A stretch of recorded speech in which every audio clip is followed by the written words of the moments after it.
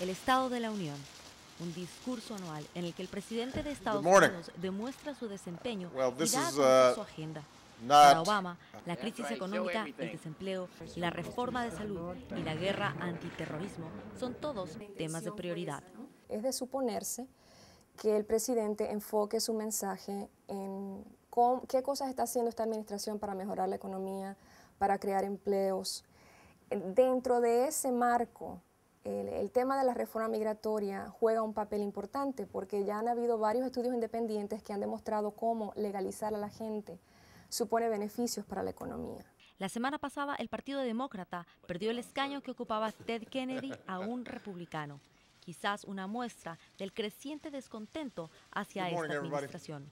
Algunos opinan que este es un momento clave para no perder el apoyo latino.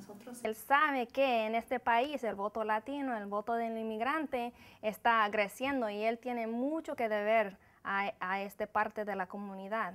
Y otros inmigrantes se aferran a la esperanza y a la unidad que tienen entre sí. Dicen que es lo único que les queda. Es gente que quiere ya hacer, hacer voz, hacer presencia, ir a marchar otra vez. Se quieren unir a la huelga de hambre porque eso es lo que está la comunidad, hambrienta de ser legal.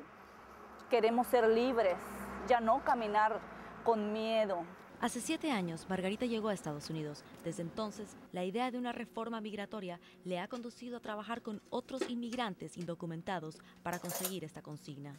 Es madre soltera y desde hace un año está desempleada, situación que mejoraría con una reforma. Porque de un modo u otro, tiene que haber, él tiene que cumplir porque no somos, no somos animalitos ni niños a quienes se, les, quienes se les engaña con un paliativo, con un helado, con un snack. Somos adultos y somos tan capaces como los que están legales.